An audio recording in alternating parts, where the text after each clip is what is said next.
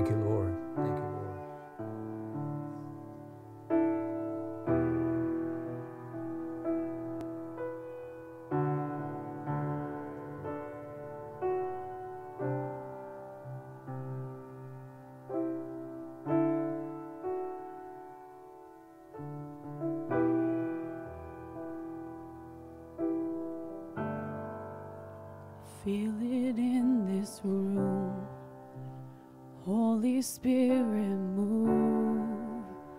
Cause when you have your way, something has to break.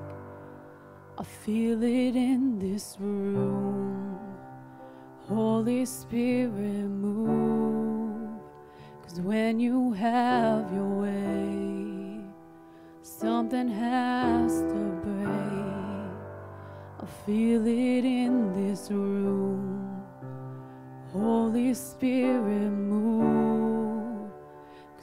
When you have your way, something has to break. Tear down every lie, set the wrong thing right. Cause when you have your way, something has to break.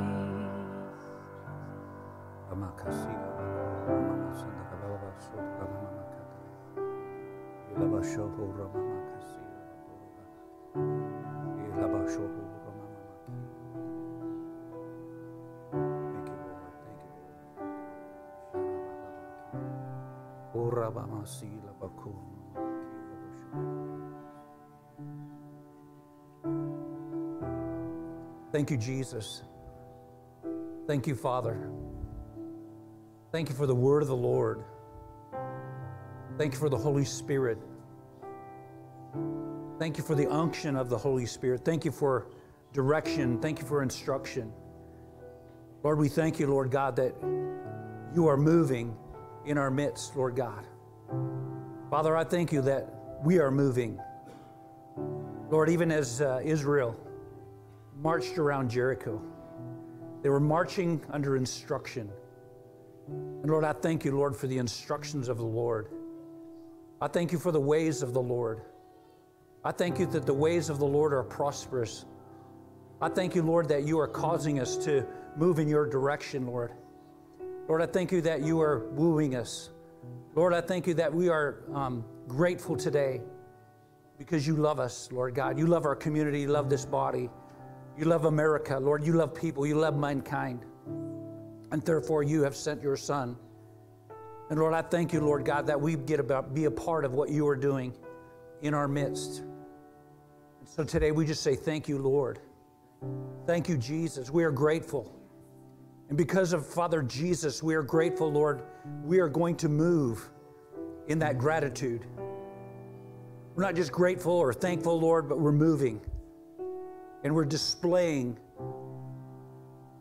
we're displaying that gratefulness, Lord. In your mighty and precious name. And everybody said, Amen. Amen.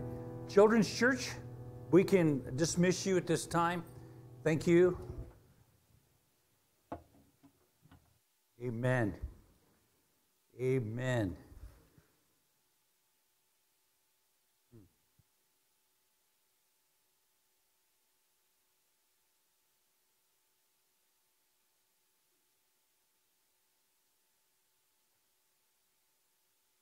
The Lord has just been doing a lot of talking this morning through individuals. And uh, um, we all hear it a little bit differently. Maybe depends on where you're at, maybe depends on what filter you're running it through. But the Lord is wooing us into a place of, I believe, change. Um, I believe there's change. Um, growth takes change. We see it in a plant. Um, we talked about a plant about six months ago, three months ago. There's different stages of that plant, and to produce a harvest, that, that plant has to endure change. And I believe that we're, um, and we talked about this just even last night, is that we're in this, we're in this motion, right? We're in this motion. We're not. I don't believe we're stuck. Stuck. You might be stuck, but I don't believe this church is stuck. But I believe there is a, uh, God is, is, is ready to um, move us into a different uh, uh, arena, if you want to say it that way. And, and I, I, don't know if you feel that in your spirit, um, but there has to be some change. There has to be some change of mindset. Um, there has to be change in your heart in, in order for this to happen, okay? Um, God is a sovereign God, and, and we looked at that. Nick, if you want to just pull that up. Um, that first song talks about some of that the sovereignty of God. Now, there's, got, there's some sovereignty that happens in our life that we will not understand totally, but on and on, the church, we as individuals, have to participate and cooperate with God in order for this all to happen. God has put a lot of value on the church. Not a lot of value on the pastor, not a lot of value on, he's put a lot of value on the church, the body of Christ. And I think we are missing and maybe have been mistaught um, what value you have as an individual in this body.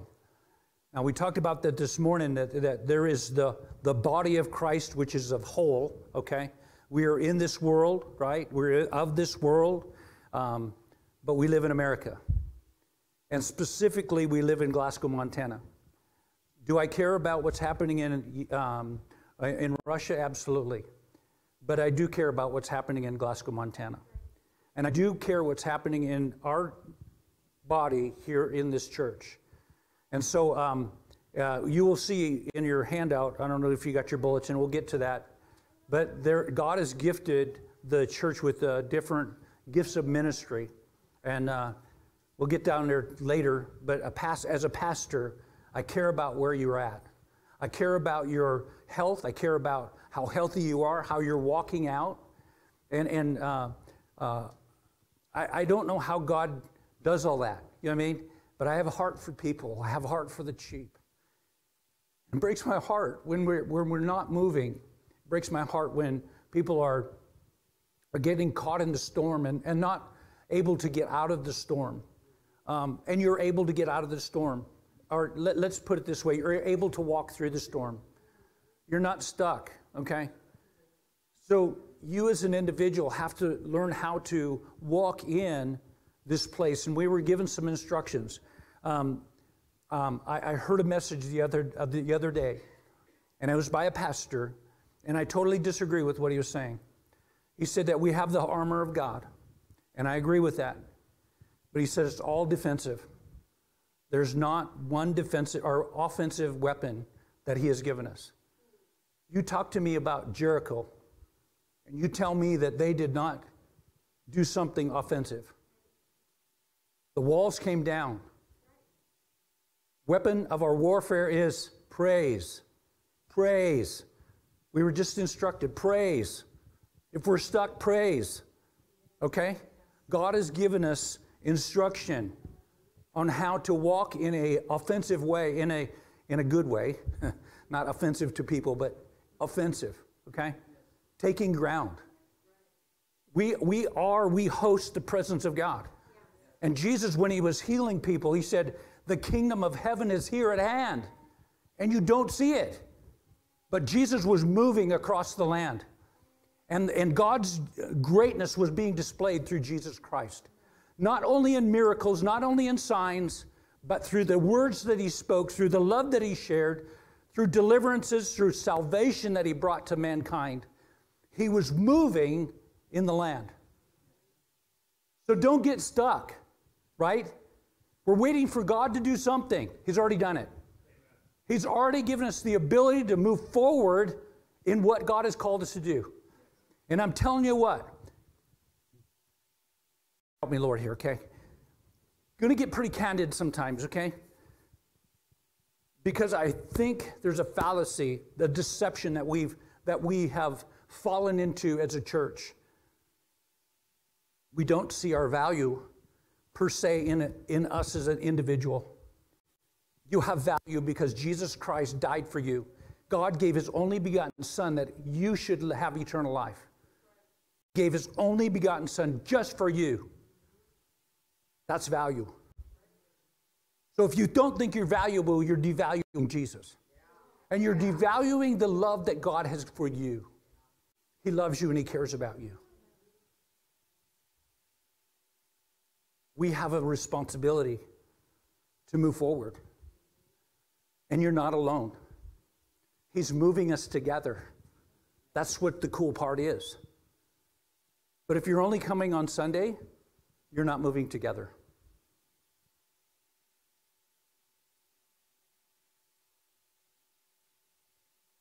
We have to, we have to change the way we think. We have to change the way we do things. We have to. God is wanting to move in our midst. And how do you, how do you allow Him to move? We're putting all the responsibility on Him. How do you, how do you as an individual, cause God to move in a sense? Your heart. You open your heart to Him. You sing from your heart. You see what I'm saying? You are the one. You are the one that brings in, that ushers in. We know that He's here. We know that when we walk in, Jesus is in our life. But there's a glory that God wants to dispense in, a, in our midst. That people will be saved, set free. Repentance will happen. Are we ready? I remember a time talk to you a little bit. I remember a time um, I was playing football junior year. I wasn't super good. I wasn't a Brenner Flayton by any means, but um, I love football. There was something that happened in my heart when I was a junior. Um, I love playing defense. And one thing that happened is I love football. But the other thing it says in my heart was I wanted my team to win. I wanted our team to win. I wanted them to look good. Okay? That takes something of the heart to change. And uh, they were giving out awards that year. I was a junior and made a special award for me. I thought it was very privileged. It was the most improved. Never gave that award before. Was I good? Probably not. But I had a heart. You see what I'm saying? And that's what God wants out of you. He wants a heart that wants to see my brother and my sister succeed. I want to see you do well. I want to see you grow. I want to see the churches in Glasgow grow. We're not in competition. You're here for a reason. You're here because God has placed you here. Now, Many times, what happens, we get in a little bit of a funk, and the enemy wants you to run. And you isolate, and you blame the church. How connected are you to the church? We want people come looking for us, but where, where is where's your friend? Where's your where's your uh, spiritual guidance person? Where's the person that you're leaning into? Hopefully, he's sitting right here. So when I'm having trouble, I'm going to go, Doug, man. But you're waiting for him to come to you. No, you need to humble yourself and you need to come and say, hey. Okay? We've all been there because we try to isolate. We don't want to see anybody think we have a problem. right? We want to look perfect. We, we talked about this a couple weeks ago uh, up in Opheim, and uh, we talked about all the times that we came to church fighting mad. Not cussing at each other, but man, we were mad. We get to church, right? Get to church. How you doing? Oh, it's just awesome. You're just having a great day. It's so fun. Where's your husband? Oh, he just stayed home. Dude, you're madder than a hornet, and you put on this silly face. You know what I mean? Change. Come on. Come on. Grow and mature. And it's, it's not that we're not going to have some disputes. It's not that we're going to have not going to have disagreements. But I'm telling you, we're, we're growing. But you have to change. I'm telling you, Bill, you're going to have to change. You have to change. Do You remember the conversation we had in the back? You know what's cool? Is God brings you to a point. He brings you to a point, and it's almost like it's almost like you, you, you run into this conflict or you run into this wall and you go, What are you going to do about it? And you go, and you're mad. And you leave, and the Holy Spirit shows up. You. He changes your heart. He allows you to see, gosh, I didn't see it that way. I was just so concerned about me. But the Holy Spirit says, let's look at the bigger picture. Let's look at the bigger picture. Some of you should get the most improved. you know what I'm saying? It's just awesome how God just walks us through these things. But you're in a battle, you're in conflict. What are you going to do? Holy Spirit speaking to you, but because of pride, arrogancy, shame, guilt, you're going, I don't want to have any part of that. I don't want my brothers to see me like this. I don't want to show up at the altar again. Altars are amazing. Altars are amazing. Why did Jesus, why did the Lord have Moses build an altar? Why do you have um, uh, Joshua build altar? He goes, when you go by here, tell your grandchildren about it. Just tell them. Just tell them what God has done. And when we enter those conflicts, we're going to walk through them. You know what I mean? We're going to walk through them. It's okay. But you have a story. You have a story to tell about the goodness and greatness of God. He's faithful. He never forsakes you. He never leaves you. But what do you do? I plug in. I press in. I know He's faithful. My God, He's faithful. Sometimes the journey is a long time. Sometimes the journey is a long time, Bill. But He's faithful. He's faithful. The church is valuable. Now you want me to preach the message? Here we go.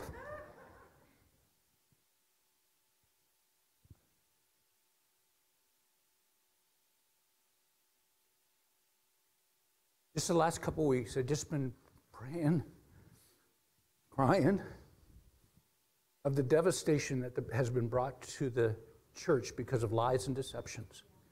And, and, and maybe even not being instructed. I'm not blaming anybody, but we're being instructed that how to walk this out as the body of Christ. And it's amazing, you know, the, the, the power of two people, the power of three people, the power of four people. And so, what God is doing, and I said this beginning of the year, and it's December already, God is going to cause our family, our body, to be healthy. But it takes you to respond to Him. Absolutely, 100%. One of the things that I, I, I really believe that God is doing relationally is that He's drawing us nearer to Him, but also I believe that He is causing us to relationally come together. Now, it's not necessarily always my, my responsibility to, to go to Ruth. Ruth has a responsibility to connect with me. You agree with that?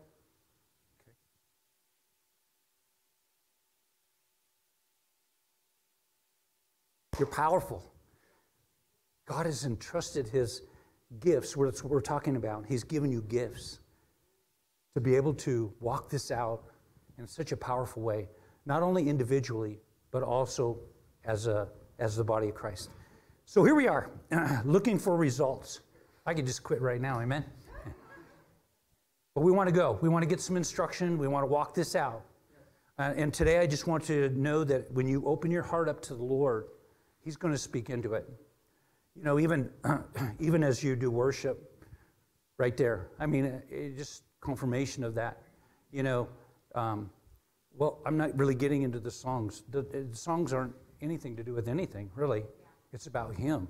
It's about your heart expressing yourself to Him. This just leads us, okay?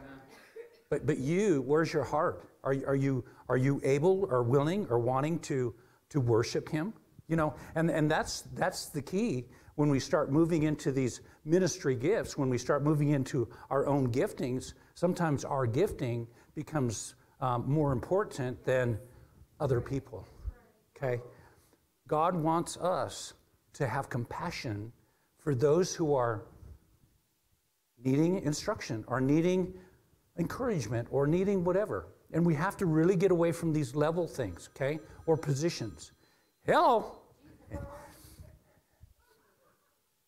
Um, so let's go to Ephesians 4 1.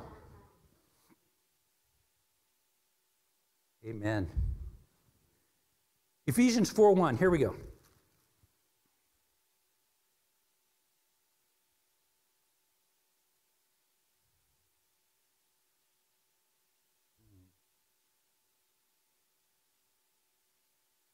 I want you to say this I'm a mighty warrior. Want to say it again. I'm a mighty warrior. Amen. Amen. Amen. Amen. Okay, today we're just looking for results, um, wanting to, um, and results come after you walk in the things of Jesus, okay? Um, I want to clarify that too, is that many people are seeking after gifts, seeking after miracles, when really we want to seek after Him, seek ye first the kingdom of God, seek Him first, okay? And all these things will follow. I mean, it even says that in Mark 16. So, Ephesians 4 1. I, therefore, the prisoner of the Lord, entreat you to walk in a manner worthy of the calling with which you have been called. I preached this two different ways. I don't think that it's wrong the way I preached it the first time. First time I uh, talked about vocationally. Um, I believe that we, God has given us uh, jobs. He's given us ways to bring in provision for ourselves and our family.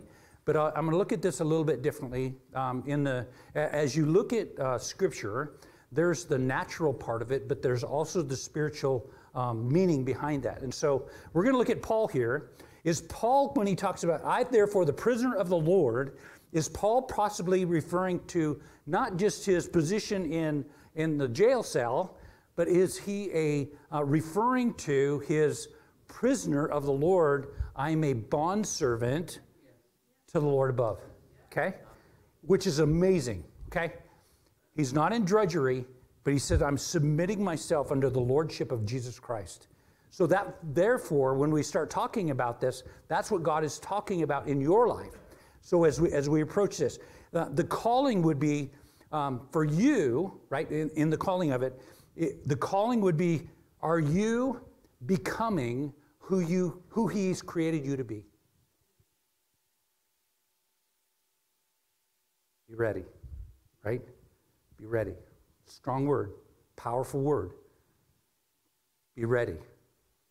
Being ready is not going like this. Being ready is preparing, right? It's preparing. Keep moving as God would have you move. That's readying yourself for the change. Here we are. So, um, you have been called, okay? Calling and which you, which you have been called. Uh, have been called would be um, everything that God has designed you to be. You're not just. I, I used to um, say that a lot, okay, uh, as we were youth pastors. They would say, Well, what are you guys doing? Well, I'm just a youth pastor. No, you're not just. You're not just the just. You're powerful. You're a child of the King. You're Lord. I mean, not Lord, but He's Lord of your life and therefore you're walking under that lordship. Okay? Uh, so, verse number two, here we go. Uh, with all humility and gentleness, with patience, showing forbearance to one another in love. Verse number three, being diligent to preserve the unity of the Spirit in the bond of peace. A couple different things. I'm going to just kind of lay this, lay this out in layman's term. Uh, verse number two, my intentions will be tempered with humility and gentleness with patience, choosing to respond in love. I think it's important. Whatever the gift that you may be operating in, whatever gift the Lord has willed to you, okay, I think it's very, very important that you are considerate and uh, uh, care about community, but also you're doing it in love. You're walking everything out in love. That's very, very important. Otherwise, you become this clanging bell that no one wants to be around. And anybody ever been around somebody that's socially awkward? You like being around them? No, you don't. Anybody here socially awkward? No, no, no. But you know what I'm talking about, right? And so here, here's the change thing. I think, I think we can change some of those things.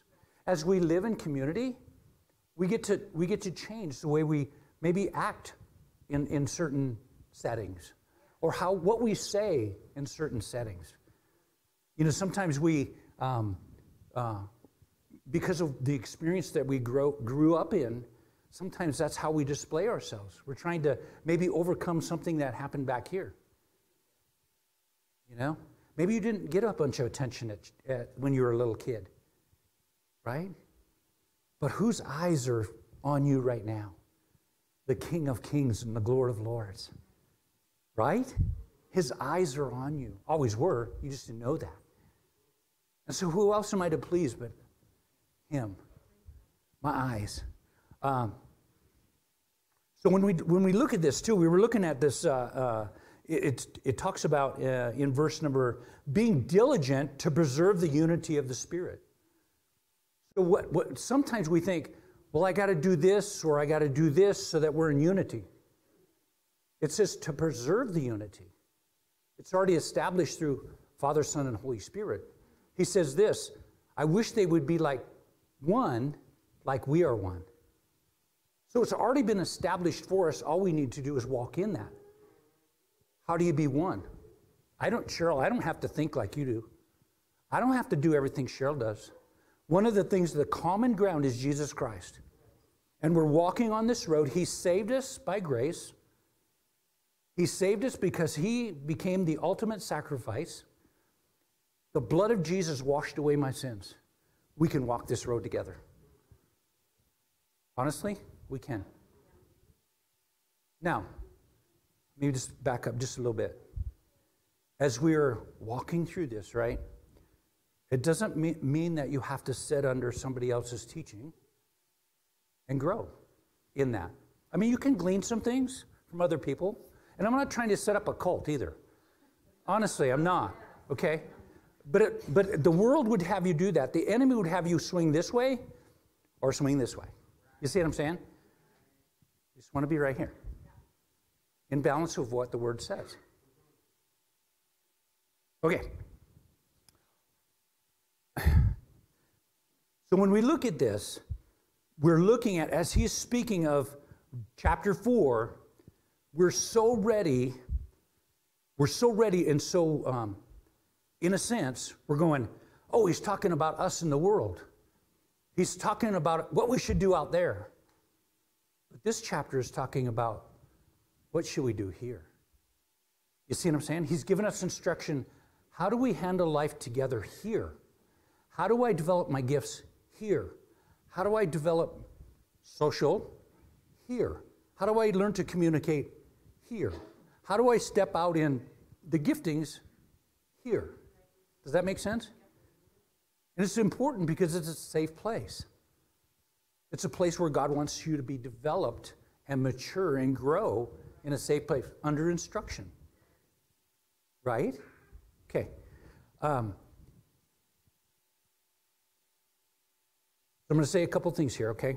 The Lord specifically in these verses is speaking about our conduct with one another as believers.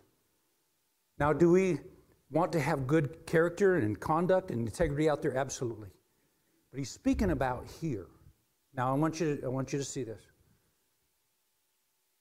As I was just praying about this this morning, I think of some of the storms that we've had with cattle. Anybody have any cattle stories? So we, it's springtime, and you got all these baby calves, you got all these mommies, you got cows that are ready to calve, all kinds of dynamics going on, right? It's going to storm. They going, hey, um, it's going to be about a foot of snow, and we've seen it. you best get the cows in closer, and so we get them in a pen, okay, with windbreak and everything. And not all the time, but inevitably, cow will have a calf. What has happens to it? Gets stepped on. Okay? Here's a picture for you.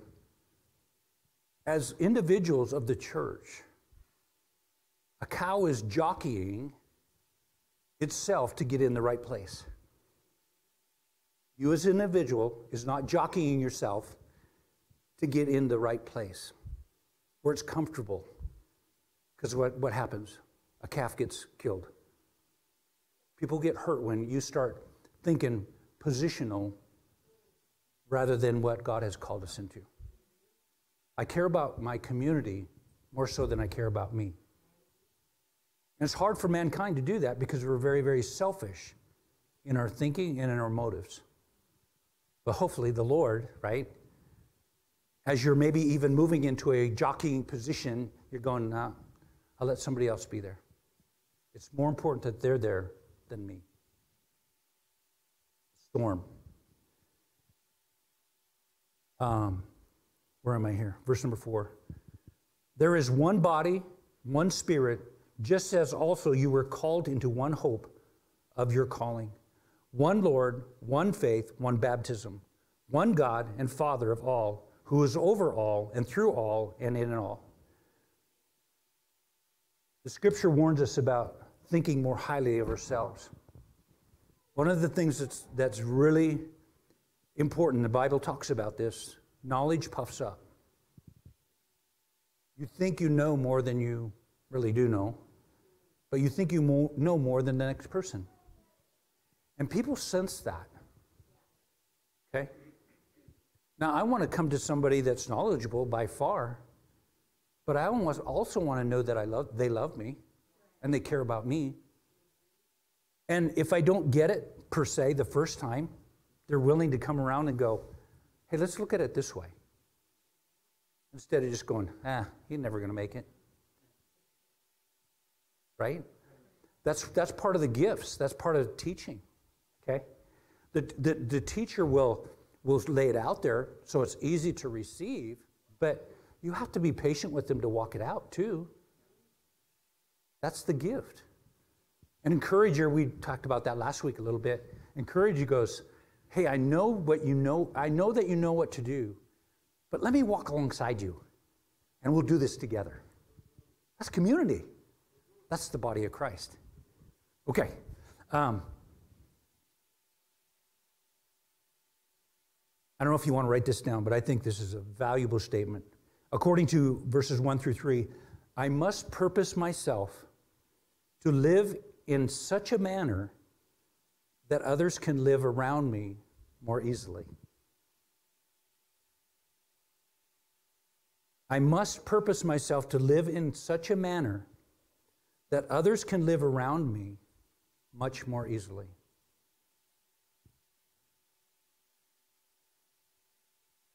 I don't want to be a bird in your saddle.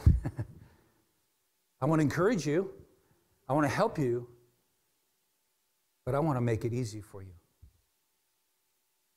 Right? So you have to change. You as an individual has to change so that others can live around you more easily. Maybe it's your attitude. Maybe it's the words that you speak. Maybe it's your motive. But we want to make it a place where people can learn, grow, come in and not feel condemned, come in and feel loved, come in and know that they're going to be taught of the things of the Lord, come in and be all that God has called them to be. Right? Amen. So as people walk in, we want them feel we want them to feel welcomed. Right? It's not just one man standing back there, it's you can welcome people here. That's part of the body of Christ. That's part of you just exercising your gift without anybody really even knowing it. Right? And not everybody's made for that. That's not their gift. You know what I'm saying? Some people are just shy. Is it okay to be shy? Absolutely. You don't have to be like so and so. You don't have to be like Crystal, where talks to everybody. You know what I'm saying? Is that true? Okay. Um, let's go to James 3. So here, here's my other thing. So as I as I love the body of Christ, and as I, I I'm willing to change and are willing to be all that God has called me to be, I'm allowing the blessings of God to come into our midst. Does that makes sense? Even in, in a place of worship. If maybe, maybe I don't need anything today. That's not the point. The point is that you've come to, to worship the King of Kings. Maybe you're in a bad space. Maybe you're in a good space. Maybe you're just a. But we came to worship the King of Kings. So by you worshiping, right, it brings in help, per se, to another individual. How many would agree with that? I don't know if people think that or agree with that. You, you, I'm telling you, you cannot just sit here. We can't. if we want this, and, and, we're not growing it for numbers, we're growing it for the kingdom of heaven. We're, we're wanting people to be saved. We're wanting people to be set free. Anybody know somebody that needs to be set free? Anybody know that know, know anybody that needs to be born again? Absolutely. That's why we're doing this. Right? He's commissioned us because I love my team. I want to do something that so that my, my team will excel. I'm doing something so our church will excel. Not just for my blessings, but God wants to display for Glasgow, Montana through you, through this church and other churches. I'm not disagreeing, but I'm talking to us. But we have to change. We have to change the way we think. We have to change the way we approach things. We've got to, we have to understand what he says about who you are as an individual and who we are as an individual.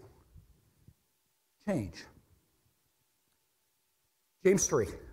I think I'm going to read that out of the message. Do you have that there, Nick? Um, I think this is really, really important. Um, it's kind of instructional. This is how this we're going to approach this. This is out of the Message Bible. Do you want to be counted wise to build a reputation for wisdom? I don't think so. Here's what you do live well, live wisely, live humbly. It's the way you live, not the way you talk. Right? It's the way you live, not necessarily the way you talk. I mean, that's all part of it. That counts. Mean spirited ambitions, wrong motives, isn't wisdom. Boasting that you are wise isn't wisdom. You don't have to say you're wise, you can portray that you're wise by the way you talk. You ever talk down at somebody? Right? They sense that, they know that. You're not, you're not bragging about yourself, but the way you're talking to them, they know that you're puffing yourself up. Okay? Here we are. Boasting that you are wise isn't wisdom. Twisting the truth to make yourself sound wise isn't wisdom either. It's the furthest string from wisdom. It's animal cunning, devilish, conniving. Whenever you are trying to look better than others or get the better of others, things fall apart and everyone ends up at other, each other's throat. Division, strife, envy. It comes through those type of settings where your heart is manipulating people, or you have the wrong motive, when you're jockeying yourself into position. Those type of things happen. Don't you just want this church to just explode and have people just fill the seat where you have to stand outside and let them sit? Why? Not for numbers, but because of God's glory. Because we want people to be saved and set free and and walk in freedom. Man, there's so many people are just bound in hopelessness. I mean, even right now, hopelessness. Right. And you have the message of the gospel that frees people. How do you know? Right? I'm spirit in life. My words are spirit in life. Man, if I if I know what his word says, and I speak that word out of my spirit being, it's processed through here. I didn't hear a quote, but it's processed through here. People are going to know that because his word is spirit and life. That's what hopeless people need. They need spirit and life. You don't have to get them saved the first time, but man, what a great start if people are born again. Growth, remember growth? Process. One day, one day, do you remember yourself? Do you remember how many times people talk to you about Jesus? You should do this differently, or you know, Jesus, He came into my life, changed me. You begin to talk like that. And they one day they'll go, Tell me about your Jesus. Why do you have hope? Because of him. Man, I was in a hopeless situation. Jesus came. I cried out to him. My friend told me about this Jesus. And I, I, I just wanted what he wanted. I just wanted Jesus. Amen? What's your story? What's your story? You're not living in your same story, are you? No. We're not living in that story. Right? Freedom. Freedom, freedom. Where do I go here? Thank you, Jesus. The value God has placed on the church, the value that He's placed in you. Ephesians 1:22 says that the church is therefore under the headship of Christ, and because we're under the headship of Christ, he fills each member with his fullness. Verse number 11, uh, 411.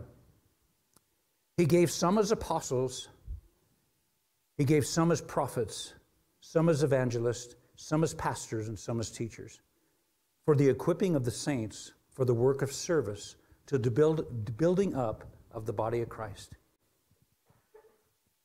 See, I didn't care if I played defensive end, quarterback, lineman.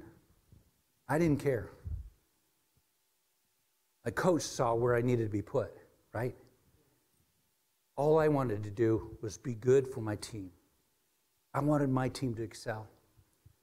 So when your heart is for the body of Christ, his body, not just this body, but his body, but this body as well things are going to start exploding in your life because he cares about the church.